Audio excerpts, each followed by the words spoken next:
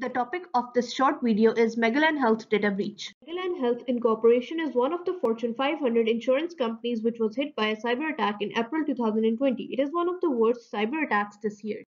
The investigation the attack was launched with a fully planned process where hackers first leveraged a phishing scheme to gain access to systems of Magellan after sending out a phishing email. A sophisticated social engineering attack that imitated a client enabled hackers to gain access to the health plan's servers, exfiltrating sensitive data and further installing malware and steal further employee login credentials before executing a final ransomware attack.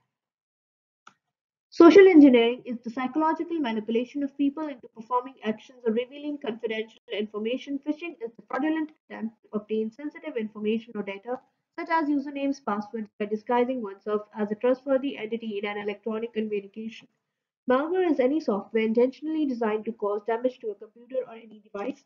Ransomware is the type of malware that threatens to publish the victim's data or block access to it unless a ransom is paid. On April 11th, the company discovered it had fallen victim to a ransomware attack. Hackers first gained access to the Magellan Health network five days earlier through a social engineering phishing scheme.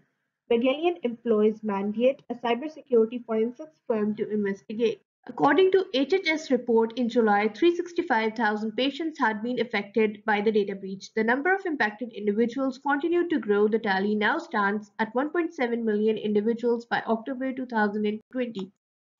After the attack, Magellan Health claimed to have implemented more security protocols designed to protect the network, email environment, systems, and other personal data to prevent themselves from other such incidents. Let's see what other countermeasures we can take to secure our data. First of all, secure the networks and systems. Enable regular antivirus scans in order to curb malwares and cybercriminals. Implement an anti-spam solution to stop phishing emails from reaching the network. Keep the system up to date and always have the important data backed up. Securing the system is not enough. Secure the data as well.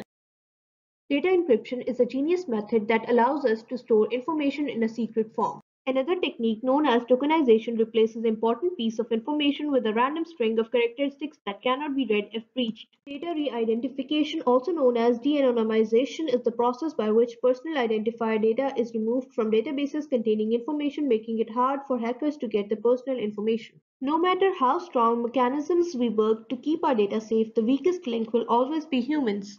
The employees need to be educated on phishing and social engineering. If we want to raise the bar of security, we got to train the humans to not make security errors. Thank you for viewing this video.